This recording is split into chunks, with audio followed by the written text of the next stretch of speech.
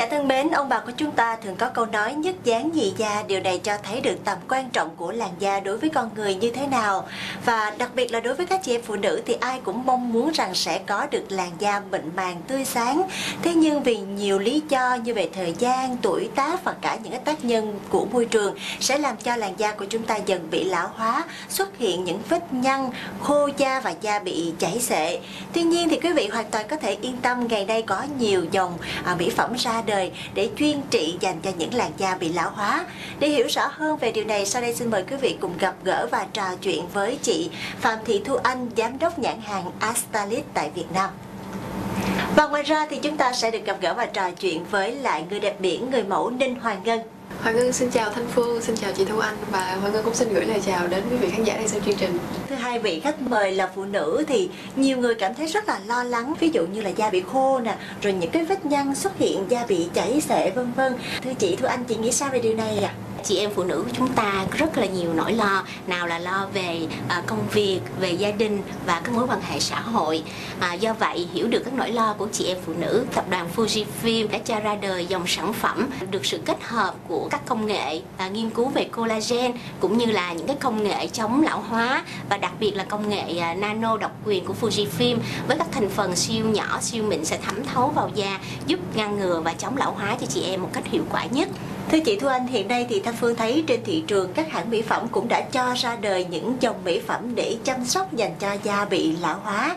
Chị có thể giới thiệu cụ thể hơn về những loại mỹ phẩm này? Ở mỗi độ tuổi nào thì chị em phụ nữ chúng ta cũng phải cần có một cái cách chăm sóc da một cách phù hợp nhất.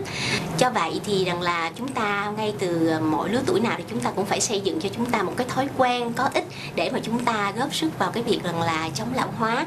Đó những cái thói quen đó là gì? À, những thói quen rất là đơn giản thôi chúng ta cũng phải ăn uống đầy đủ các dưỡng chất à, cung cấp cho cơ thể mình một lượng à, khoáng chất và vitamin cần thiết. Và quan trọng là chúng ta phải ngủ đủ giấc.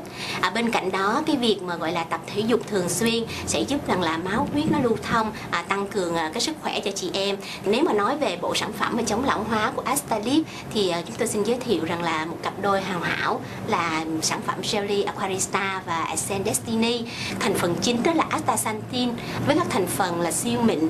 Và thưa chị với những đặc điểm nổi bật này thì nó sẽ có tác dụng như thế nào để chăm sóc làn da bị lão hóa ạ? À? Như đã trao đổi thì là với cái thành phần astaxanthin là sức mạnh của các sắc tố đỏ khi được thẩm thấu vào da thì nó sẽ phát huy tối đa cái hiệu quả về chăm sóc da và duy trì luôn luôn là có một cái làn da tươi trẻ cho chị em phụ nữ. Hoàng Ngân Đà là một người mẫu thì à, chắc chắn rằng bạn cũng sẽ rất là quan tâm đến vấn đề chăm sóc da và cũng lo lắng về tình trạng da bị lão hóa đúng không ạ? Vâng đúng là như vậy thì à, đối với nghề người mẫu của Ngân là tiếp xúc với rất là nhiều mỹ phẩm và với độ tuổi này thì Ngân cũng đã bắt đầu nhận thấy là làn da mình có dấu hiệu lão hóa thì Ngân cũng xin hỏi chị Thu Anh là uh, Ngân có thể dùng cái loại mỹ phẩm chuyên biệt nào để mình có thể ngăn chặn cái sự lão hóa đó hay không ạ? là sản phẩm Jelly Aquarista. Jelly Aquarista đó là một cái sản phẩm là dạng thạch à, trong suốt như nước và có tính ổn định rất là cao. À, và đặc biệt là Jelly Aquarista à, bổ sung một lượng dưỡng chất rất là cần thiết để duy trì cái độ ẩm mịn cho làn da của chị em phụ nữ. À, với cái thành phần là chứa là ceramide. Thì khi ceramide thẩm thấu vào làn da giúp tái tạo lại cái cơ cấu của da và mang lại cái sự săn chắc và đàn hồi cũng như là sự tươi trẻ cho làn da của chị em phụ nữ. Chúng ta chỉ cần một sử dụng một lượng nhỏ vừa thải thôi và sau đó chúng ta massage đều trên da mặt theo cái hình vòng tròn như thế này trong vòng 30 giây thì nó sẽ là giúp rằng là sản phẩm thẩm thấu vào da để sản phẩm đạt được hiệu quả cao nhất. Vâng và ngân nhận thấy rằng là một đặc điểm của làn da bị lão hóa đó là làn da bị khô và bị mất nước rất là nhiều. Thì à, không biết là những cái mỹ phẩm hiện nay thì có những cái thay đổi như thế nào để có thể cải thiện tối đa sự mất nước của làn da mình hay không ạ? Đúng là bước vào tuổi 25 thì sự phục hồi của da chúng ta trở nên suy yếu và da chúng ta bắt đầu bước vào quá trình lão hóa. Các tế bào chết của da ngày càng hình thành ngày càng nhiều và nó tạo nên những cái lớp sừng thô ráp ở bên ngoài da.